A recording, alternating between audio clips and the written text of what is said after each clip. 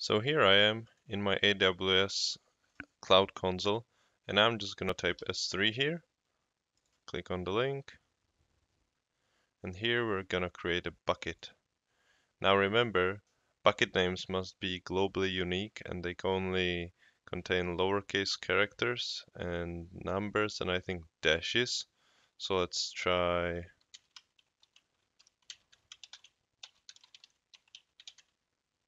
Alright, looks like this name is unique enough.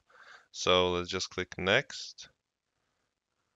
Uh, leave everything here by default next. And here you will want to untick this block all public access because we will want to host a static website on our bucket. And to do that, we need to allow public access into the bucket. So tick this acknowledgement here and then next and then you would just create the bucket by clicking this button here. Now my bucket is already created so I'm not gonna do that but you should go ahead and click create bucket right here. Alright so our bucket is created. Let's go and take a look what's inside it and surprise surprise there's nothing. Alright a couple of things we need to do before we start uploading the files. So first off let's check our permissions as you can see, I already have this, uh, this public over here. So if you don't have it, you need to go click permissions and then check that the block all public access is set to off. If it's set to on, then you need to click edit and untick the block all public access. Assuming that you have this public, we can go on and we can check the bucket policy.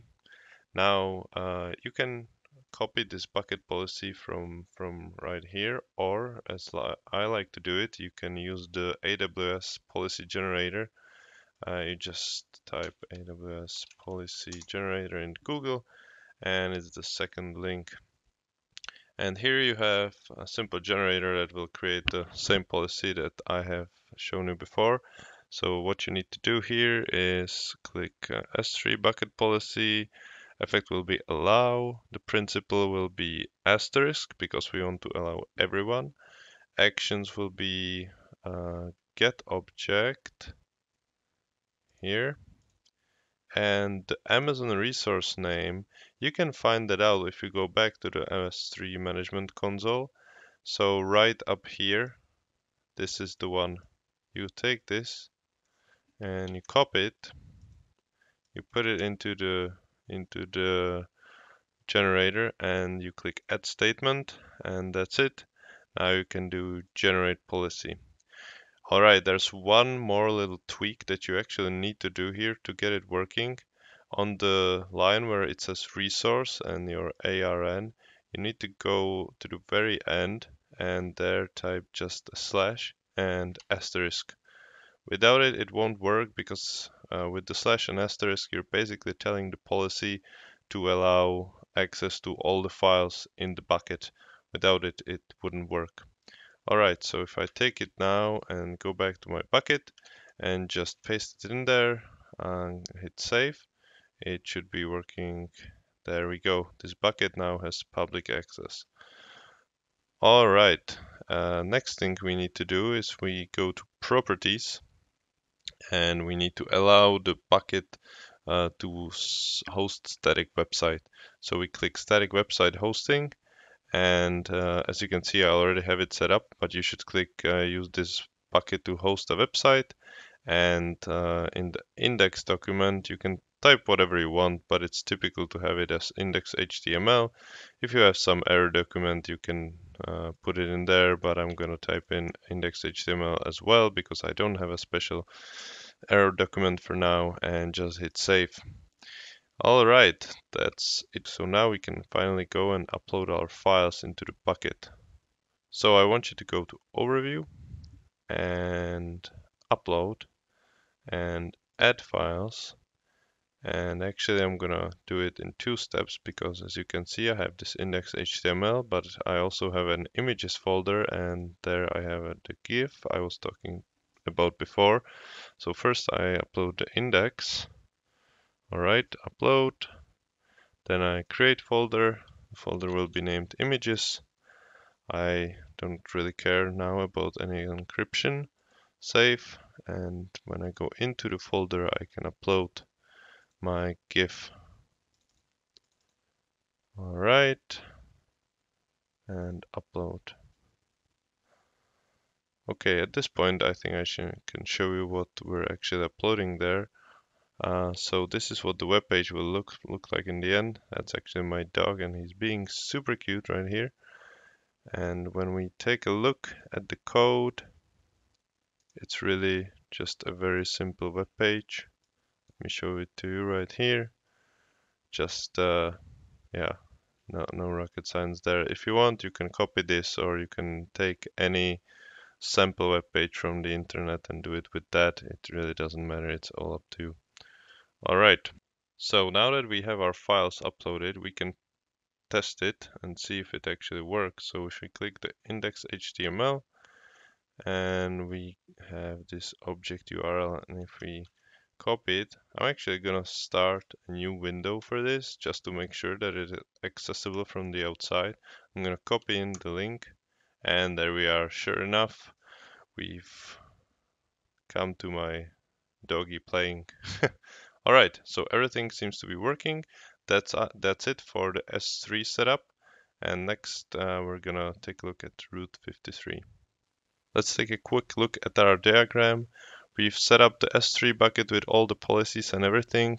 Next step would seem to be CloudFront, but first we want to set up the Route 53 and then we're gonna go ahead and set up CloudFront.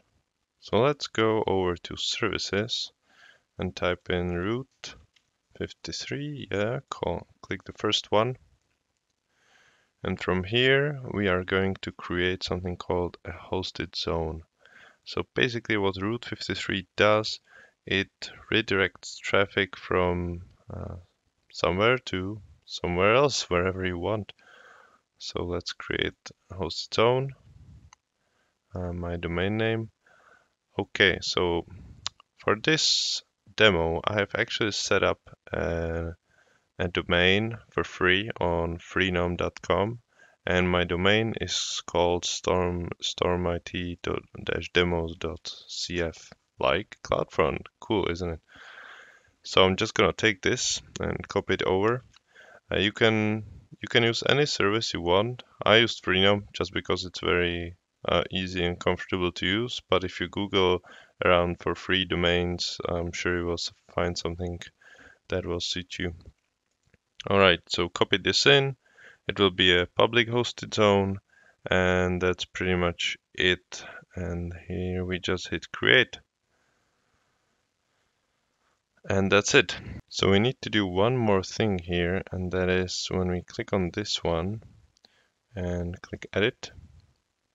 So here we can see four values, and we actually need to go to our domain and input these values to kind of link uh, the Route 53 with the domain. So if I go to my Freenom and I click manage domain,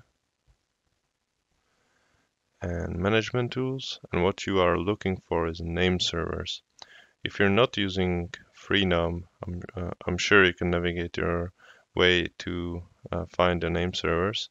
And over here you should go to the Route 53 and copy each value careful without the dot at the end. Yeah just just all, all everything up to the dot but not the dot and copy all the values into the name server columns here. These are actually wrong, so I'm just gonna go and quickly copy over the right ones. Alright, there we are. Everything copied.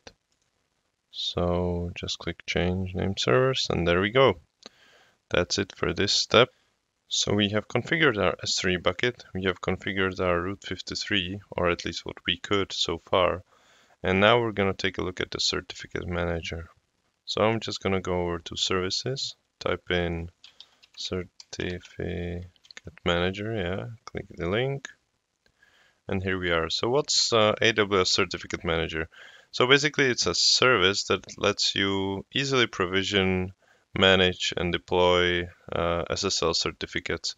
You, for those of you who don't know what SSL certificates are, Uh, those are basically used for security to encrypt and secure traffic on the way between uh, your client and the server. So let's just click uh, provision certificate. I will request the public certificate, so request. Uh, the domain name is the domain name we are using in this demo, so it's stormit-demos.cf. Uh, I'm just gonna go and click next. Uh, you can choose whichever validation you want. I like DNS validation because I think it's quicker. I'll click next. Uh, I'm not gonna use any tags and that's it. Confirm and request and it's pending validation. This takes a little bit of time, so I'm gonna cut the video here and come back once it's provisioned. Actually, for the validation process to go through, you need to click this little arrow here. And here it says validation not complete. That's fine. So we're gonna click this little arrow and then we're gonna create a record in Route 53 and then hit create and that's it. Now it says it can take up to 30 minutes, so let's just uh, give it a little while and I'll be right back. Alright, there we go. Status change to issued. It actually took like 20 something minutes for me to get this certificate issued. Anyways, the moment we've all been waiting for, the build up this was all for. Let's go to CloudFront.